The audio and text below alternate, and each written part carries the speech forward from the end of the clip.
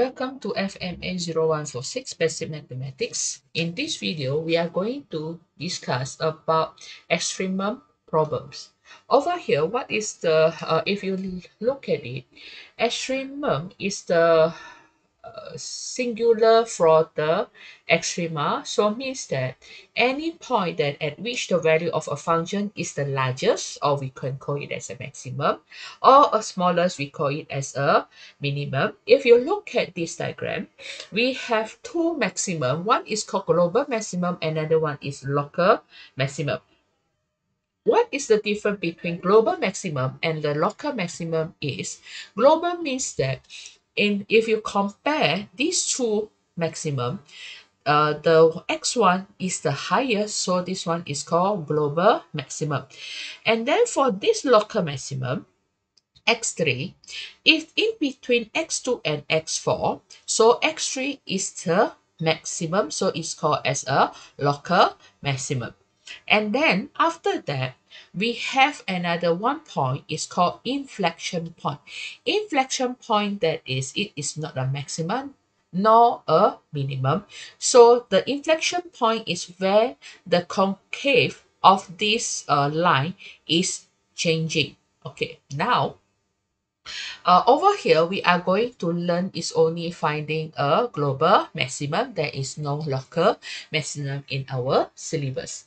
Now, we are going to discuss, okay, so we have three types as a previous uh, uh, diagram showing that we have three types of uh, point, maximum, okay, minimum, and the inflection point. Now, how to find this type of point that is First thing, we have one term is called stationary points. The stationary point of a curve y equals to fx is a point on the curve where the gradient is 0. So my dy dx must be 0.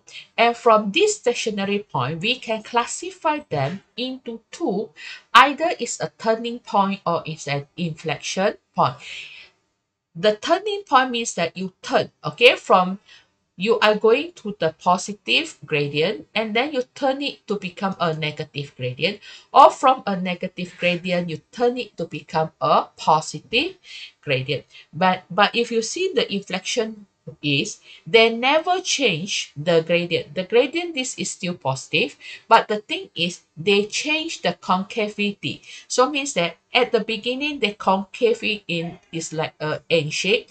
After that they change it concavity to be like a U shape or they call it as a concave up or the concave down. Now, uh, in this uh, video, you are going to learn how to find or how to identify or how to classify the maximum or minimum or the inflection point.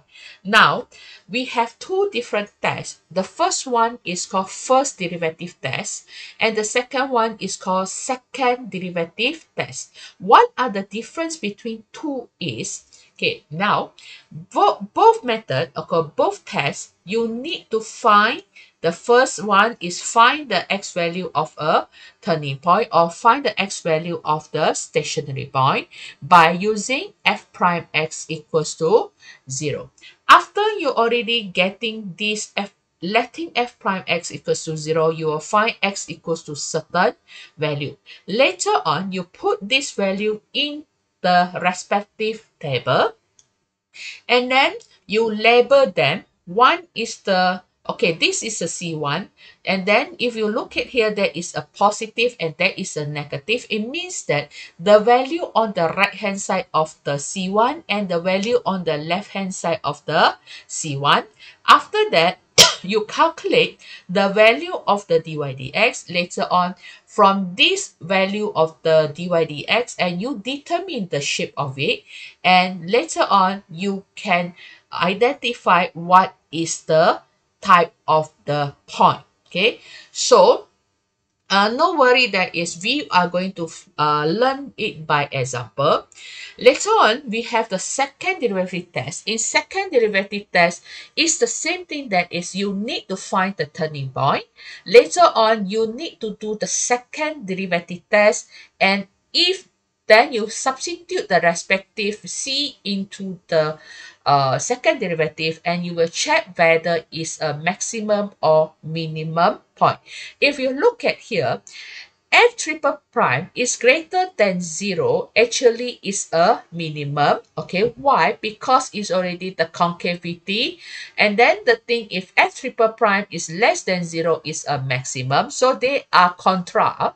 And if what if happen if f triple prime equals to 0 and you need to back to the first derivative test and then you will check uh, whether your point is maximum or minimum. So now we look at, at the first example. We have the first derivative. Okay, our first example is find the extreme point for fx equals to x cubed minus 12x plus 1.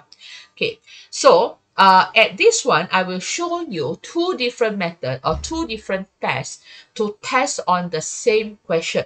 Then you can identify which problem you prefer. But there are certain times the question is already stated you must use which method. So by anyhow, you must know both methods. Now, this one is the first derivative test. Find the extreme point. So what we need that thing is first thing find the stationary point.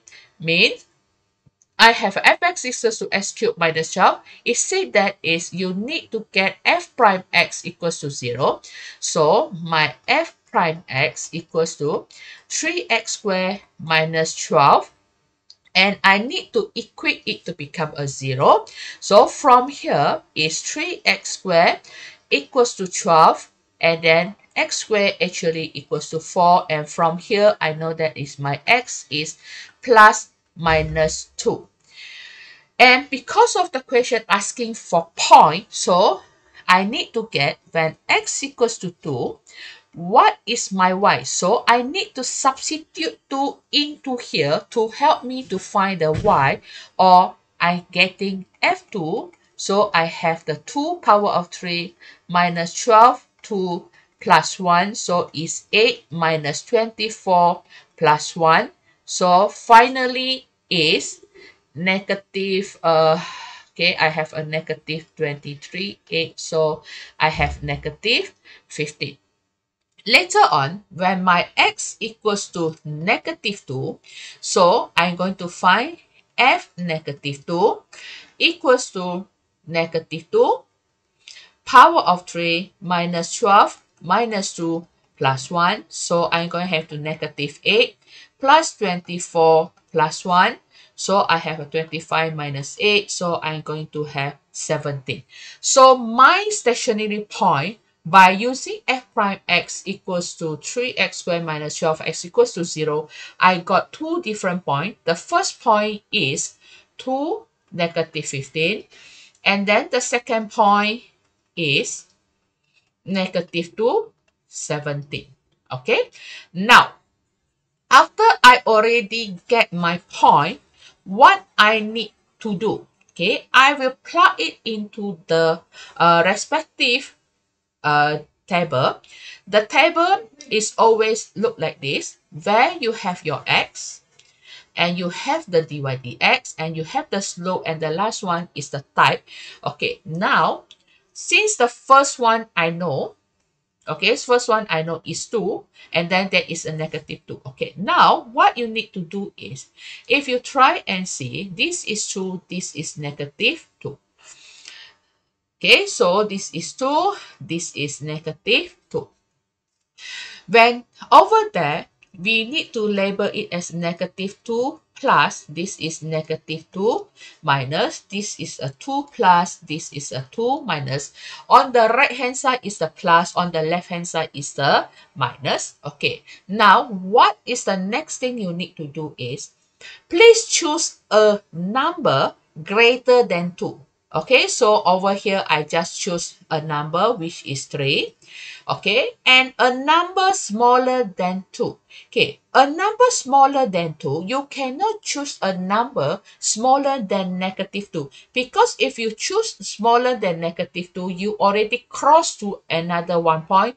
So uh, you just choose in between negative 2 and 2 so I choose 0 the easiest for me is 0 since this one I already choose 0 so this one I choose 0. Negative 2, right hand side of my negative 2 is 0. The value of the left hand side of my negative 2, I choose as a negative 3. Okay, so now, what's next?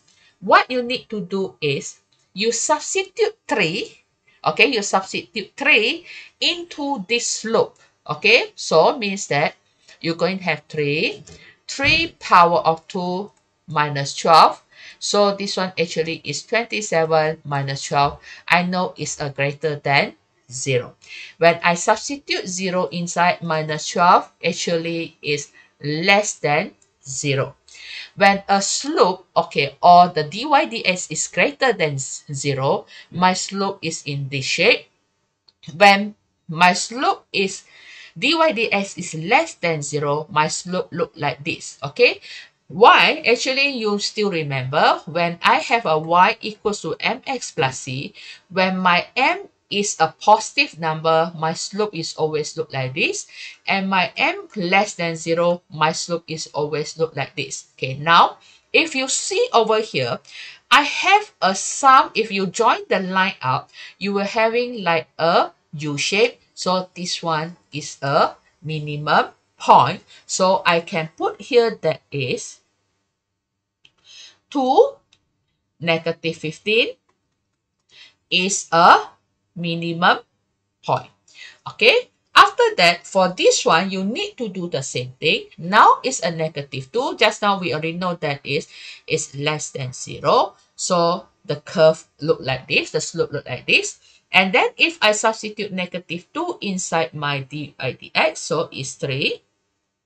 Negative 2 power of 2 minus 2, 12 actually is greater than 0. So it look like this. So, and if you see that it is a set face, actually this one is a maximum. So now my point of negative 2, 17 is a maximum point.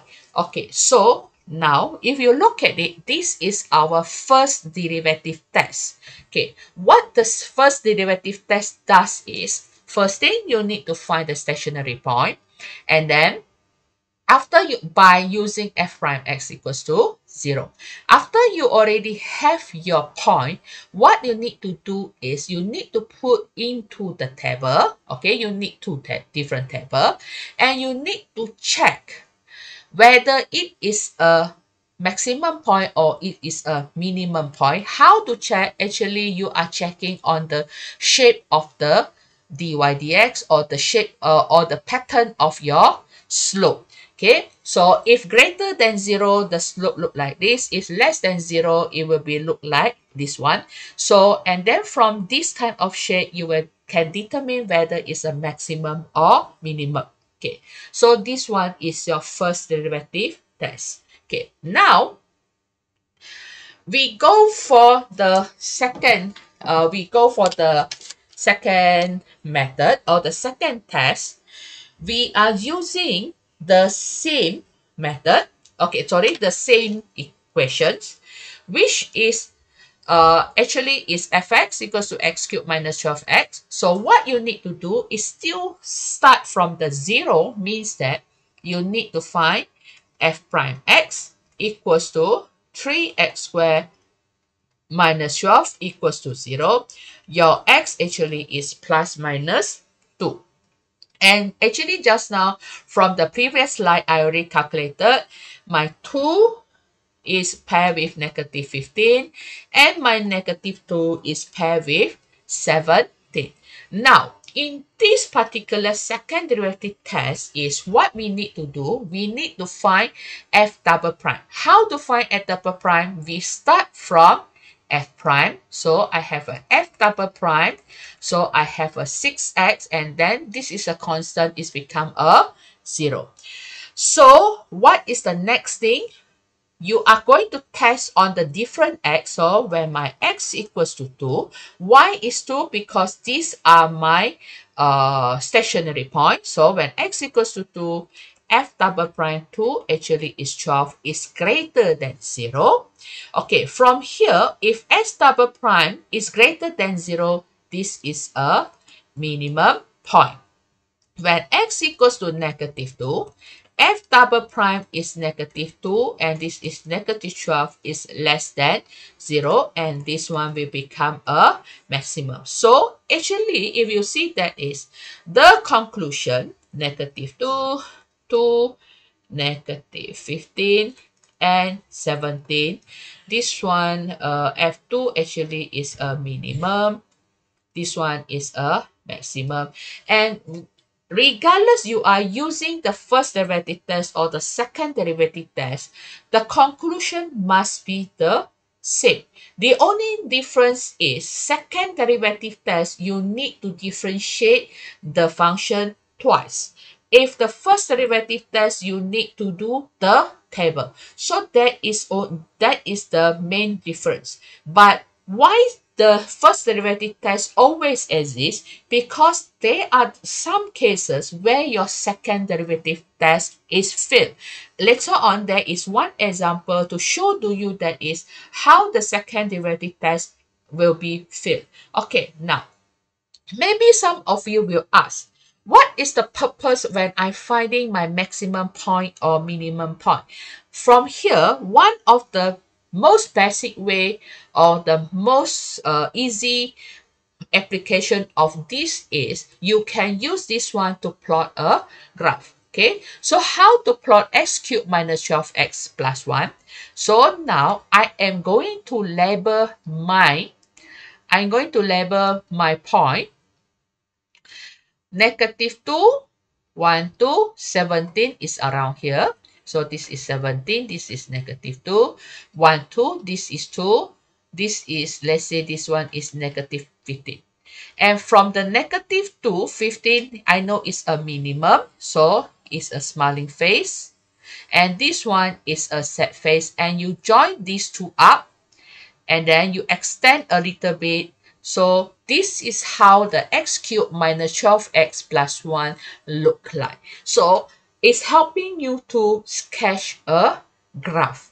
Okay, now we go going to be repeat the same thing but for different example okay? So now we can go uh, for a quick one. So y prime equals to differentiate at is differentiate x is 1 okay now this one before anything we change it to become 1 minus x half. So differentiate this one is half 1 minus x, negative half, and then don't forget differentiate inner, so I have a minus. Okay, so and this one, I change back to become 1 over 1 over 2 third 1 minus x and it must equals to 0. So when it equals to 0, I need to find the x. So I have 2 okay 2 1 uh, sorry 1 over 2 third 1 minus x equals to 1 so I flip it or I change it third 1 minus x equals to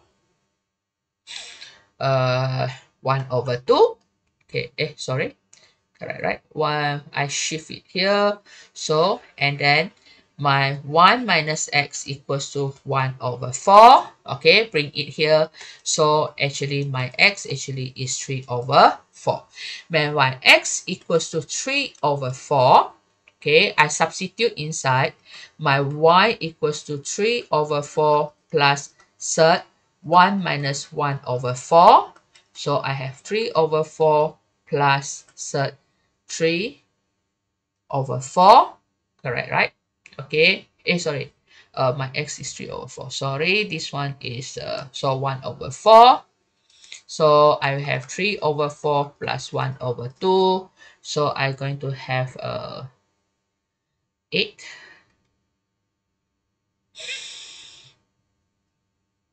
6 over 8 am I right? Uh no. This one times 2 actually sorry is a 5 over 8 Okay, now I have, okay, if you look at this example, how many stationary point you have? You only have one. So if you only have one stationary point, so you don't need two different table. You only need one table only.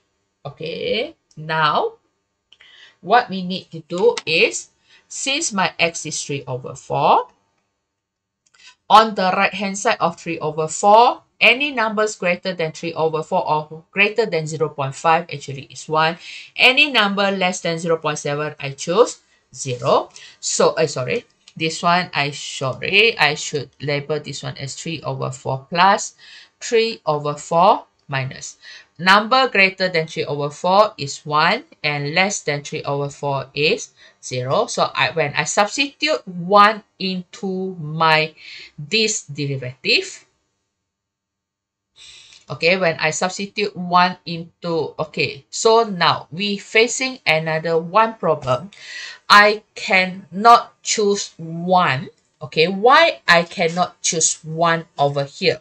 Because if I choose 1 over here my this value okay my this value will become 0 and will become an infinity. So what I do is I just choose another number. Okay I just choose another one number.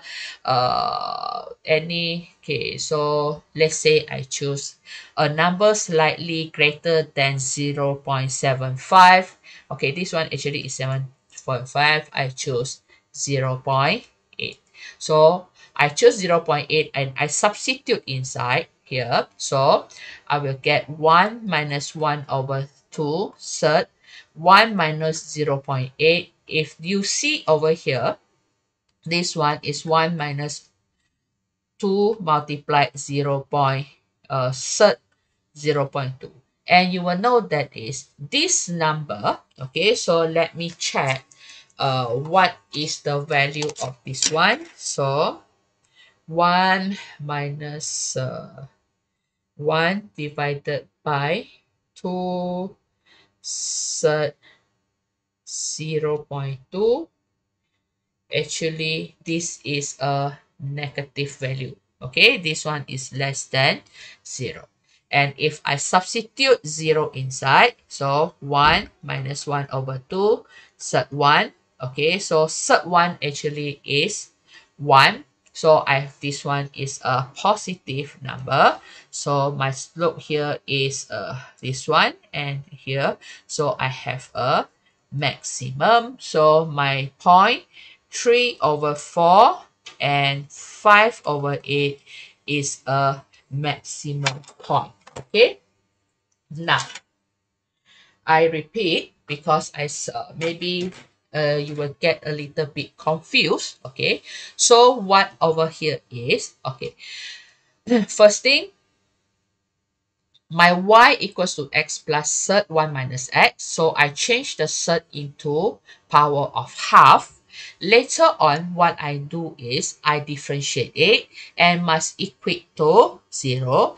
And because I need to find my x. After I finding my x, Okay, my x is 3 over 4. So I substitute my 3 over 4 into the y and I, eh, sorry, into the x. So I can find my value of my y actually is 5 over 8. So now I have a point 3 over 4 and 5 over 8.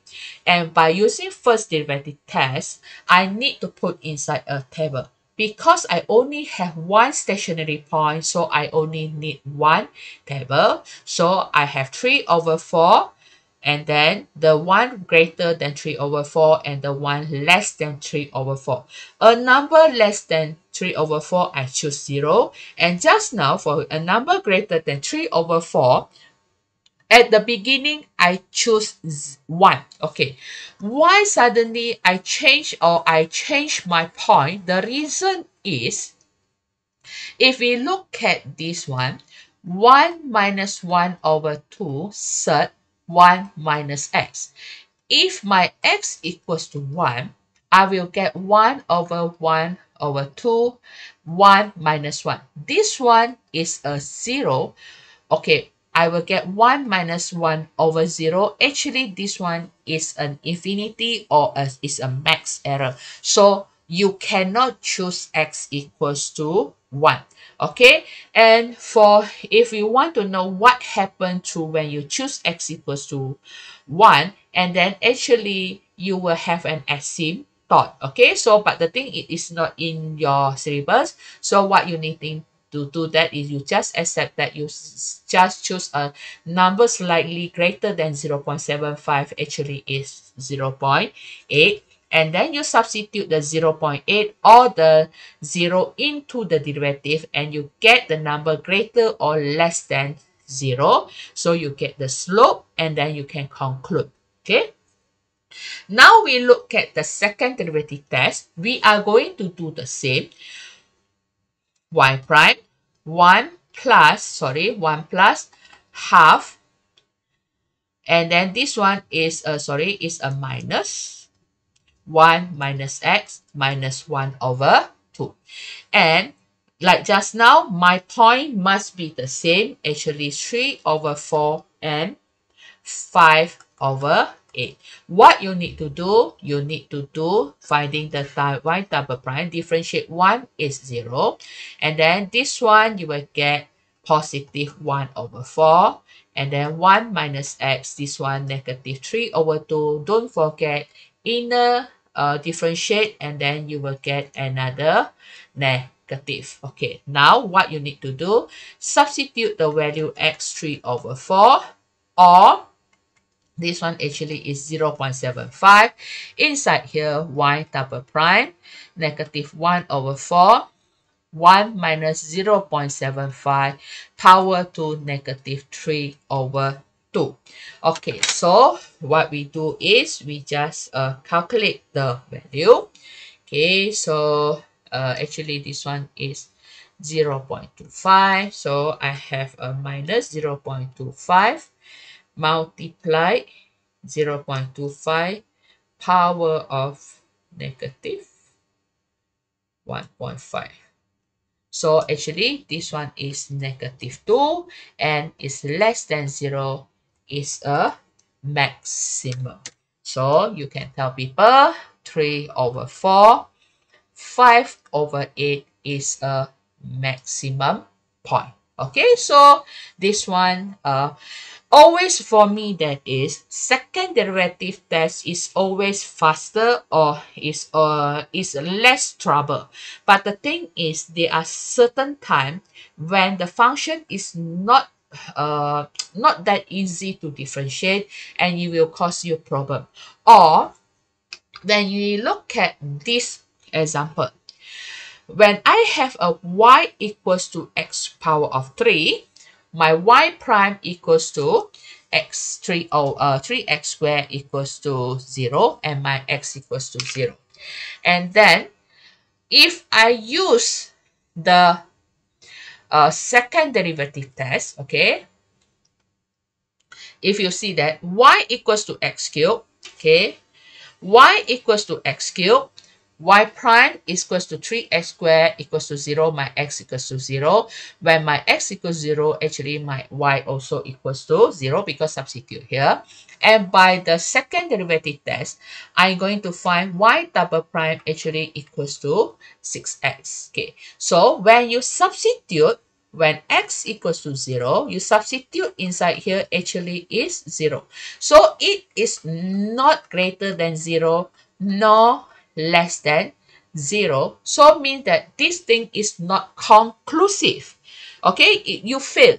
Okay, so then the suggestion of this uh for this thing is you use your first derivative test, you use 0 and a number greater than 0 and the number less than 0. Okay, a number greater than 0, let's say you choose is 1 and less than 0, you choose negative 1. And if you substitute inside the derivative, actually they both are positive. So this one actually is an inflection point. Okay, actually if you want to know that how the x cube look like, actually it look like this one. So this is the only not said the only. This is a very special case where you get an inflection point. Most of the time, we didn't get inflection point. Okay?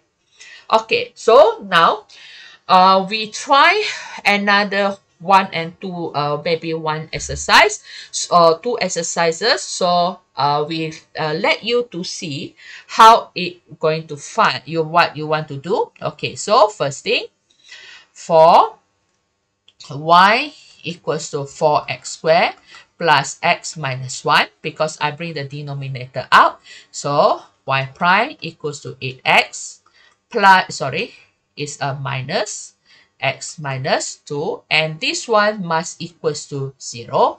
So for the easy purpose, so I will change it to become x 1 over x squared equals to 0.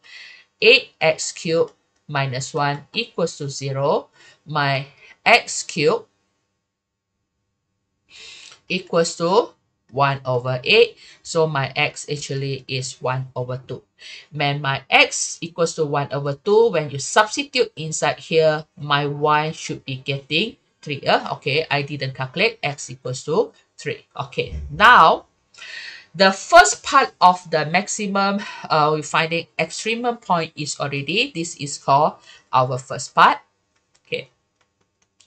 Later on, what you need to do, you need to decide you want to use the first derivative or you want to use the second derivative test. Okay, now uh, I more prefer to do second derivative test first because uh, it is less messy. So from y prime equals to 8x minus x minus 2, I get my y double prime actually is 8 minus, sorry, is a plus x minus 3. And I substitute x equals to 1 over 2. So my y double prime actually is 8 plus 1 over 1 over 2 power of 3. And actually, I don't need to really calculate what is this value, but I'm very sure this value must be greater than 0. So I can conclude my half entry is a minimum point. Okay, so now I back to my first derivative. So from here, I need to build the table. Okay, my table. Okay, so uh, first one is dy dx.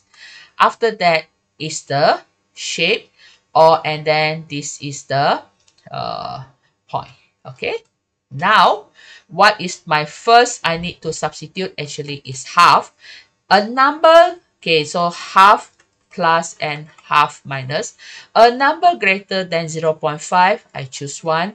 A number less than half, actually, I choose 0. So, this one must be 0. By default, must be 0. And the shape must be like this. Okay. So, I if I substitute 1 into my dy dx, okay, so I will get when x equals to 1, 8, 1, minus 1 over 1 actually is greater than 0.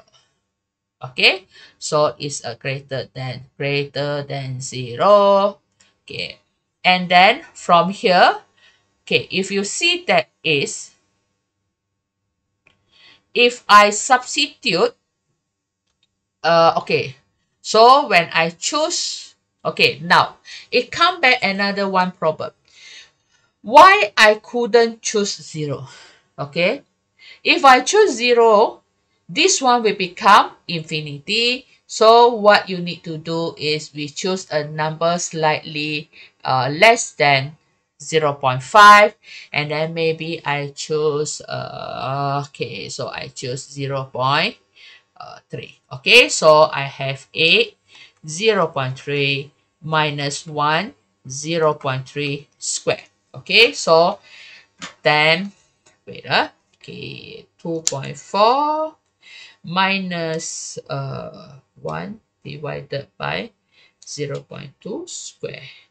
So this one actually is a negative 8.7 is less than 0 is shaped like this and this one is like this so my point is a minimum okay now from this example or the previous example, you will notice uh, for the first derivative test, you have something very crucial that is you need to avoid certain point, especially it come to the denominator. Now, let's say I have something is exponent and my y equals to t exponent t and you have no others way you need to use a product rule. Okay, so my product rule, my u equals to t, my u prime equals to 1, my v is et, my v prime is et. Okay, so y prime equals to t et, okay, plus et. And this one equals to 0. So when I factor out my, sorry, I factor out et equal, okay, et, so t plus 1 equals to 0. And my et, eh, sorry, et never be 0. Okay, exponent never be 0. Uh. So my t plus 1 equals to 0. So my t actually is negative 1. When I substitute t equals to negative 1, I will get my y actually is negative 0 0.368. Okay, and now if you see over here, okay, if you see over here, okay, this question, okay, if I strip away, okay, I strip away doing the first derivative test, this is negative 1. So negative 1 plus negative 1 uh, negative. Okay. Then I have dy dx. I have the shape. Okay. Now, this one is 0, is a flat. Okay. Number greater than negative 1, I choose 2. Okay. Number less than negative 1, maybe I choose negative 2. Okay, so I substitute into my dy dx. Okay, I substitute 2 inside. Okay, 2. So I have 3 e2. And this one is I have uh, if negative 1. So I will have uh, I still cannot choose negative, oh sorry, choose negative 2. So I have my negative E negative 2. Okay, so now exponent uh, never negative. So this one must be a positive. This must be a negative. So your slope is like this. So it's a minimum. Okay. And now, how about for the uh, second derivative test. Okay, second derivative test, you are start, okay, either you want to start from here. Okay, so your u is equals to et, your v equals to t plus 1. So your u prime is et, and your v prime equals to 1. So you're going to have e y double prime equals to et plus et t plus 1. Okay, actually you no need to arrange back. What you need to do is substitute x equals to, uh, sorry, t equals to negative 1 inside here. So you're going to have e negative 1 plus e negative 1 and this one is negative 1 plus 1 actually is 0 and this one is greater than 0 so it's a minimum. Okay, the both will give you the same conclusion. Okay, so now uh, for the chapter 7.2, I will stop here. And then you're going to have your last part is 7.3, the application in the business and the finance. Thank you.